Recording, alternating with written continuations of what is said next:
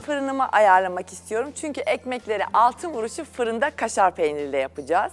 Fırınımı ben en yüksek ayara aldım 250 derecede. Çünkü sadece kızarmalarını istiyorum. Pişirme işlemim yok.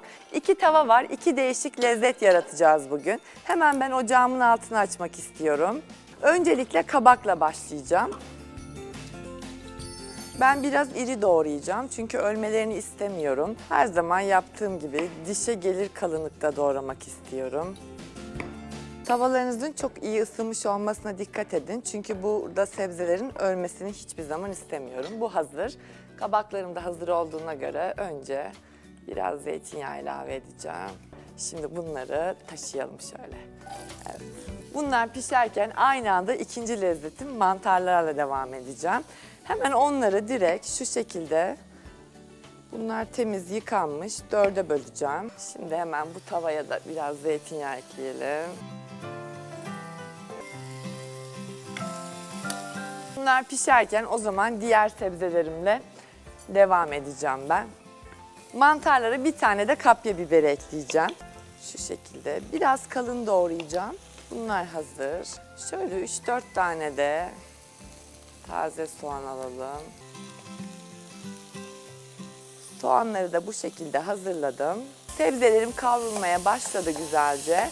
Ekmeklerimi de hazırlayayım bir yandan. Ben bunun içine taze soğanlarımı atabilirim. Birkaç dilim ekmek keselim. Dilimleri biraz kalın olmasını istiyorum. Ekmeklerimi de hazırladım. Biraz da kaşar peyniri demiştik.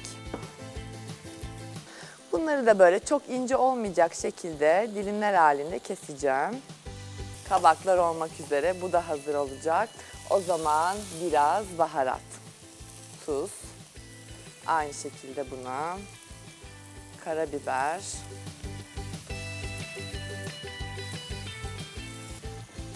biraz kırmızı biberimi ekledim. İki tane yumurtamı da aldım.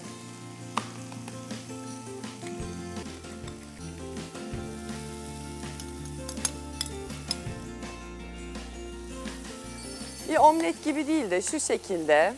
Hani küçük evdeki bızlıkları yaparız ya böyle karıştırırız hemen iki dakikada. Çok fazla pişirmeden bu tamam bile. Hemen aldım. Ocağımın altını kapadım. Bu da hazır. Bunu da kapatalım. Ekmekleri doldurmaya başlayalım.